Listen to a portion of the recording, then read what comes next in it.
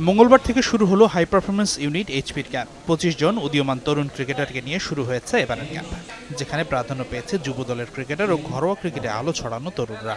Ceylon family ব্লেন্ডের কড়ালিকার আর সতেজ সাদের perfect ব্লেন্ডে স্বপ্নেরা মেলুক টানা। তো সাধারণত আমাদের আন্ডার নাইনটিন পার করে আসা প্লেয়ার এবং তার সঙ্গে প্রিভিয়াস আন্ডার নাইনটিন খেলা কিছু প্লেয়ার এবং যদি ঢাকা লিগে কিছু প্রমিজিং প্লেয়ার থাকে যারা সাধারণত আন্ডার টোয়েন্টি থ্রি ধরে আমরা আগাই তার মধ্যে থাকে, তাদেরকে নিয়ে আমরা সাজাই।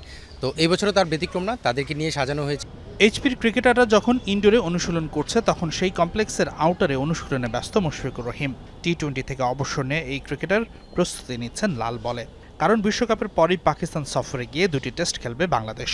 তারই জন্য প্রস্তুত হচ্ছেন মুশিব শুধু মুশফিক নয়, নাহিদ রানা, খালেদ আহমেদ, সাদমান ইসলাম, মাহমুদুল হাসান জয়, তাইজুল ইসলাম, মমিনুল হক, মেহেদি হাসান মিরাজ, মুশফিক হাসান শাহাদাত দীপু, জাকির হাসানের মতো বেশ কিছু ক্রিকেটার টেস্ট স্কোয়াডের অংশ।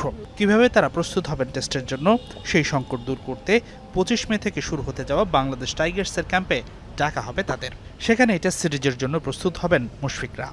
এছাড়াও জাতীয় দলের পাকিস্তান সফরের আগে বাংলাদেশ এ দল যাবে পাকিস্তান সফরে।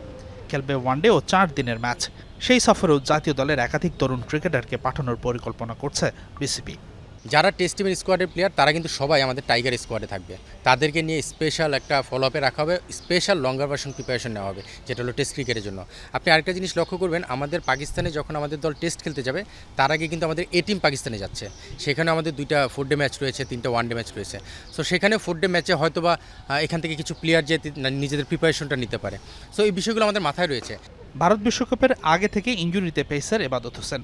ইঞ্জুরি থেকে অনেকটা সুস্থ হয়ে উঠেছেন এই পেসার। তবে পাকিস্তান সফরে এবাদতকে বিবেচনা করতে চান না নির্বাচকরা। কারণ গুরুত্বপূর্ণ এই ক্রিকেটারকে পর্যাপ্ত সময় দিয়েই খেলায় ফেরাতে চায় বোর্ড। তাই তো সবকিছু ঠিক থাকলে সেপ্টেম্বরের ভারত সফর দিয়ে জাতীয় দলে ফিরতে পারেন এবাদত।